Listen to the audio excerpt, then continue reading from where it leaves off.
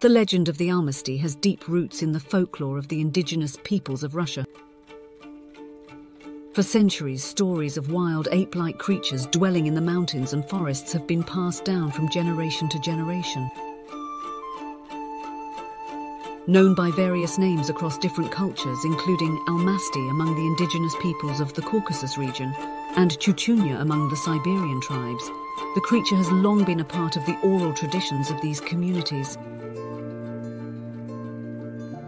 In these ancient tales, the Almasty is often depicted as a powerful and mysterious being, possessing both human-like intelligence and animalistic instincts.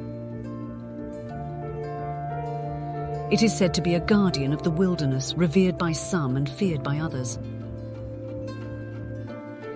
The traditional view of the Almasty as a spiritual being reflects the deep connection that indigenous peoples have with the natural world.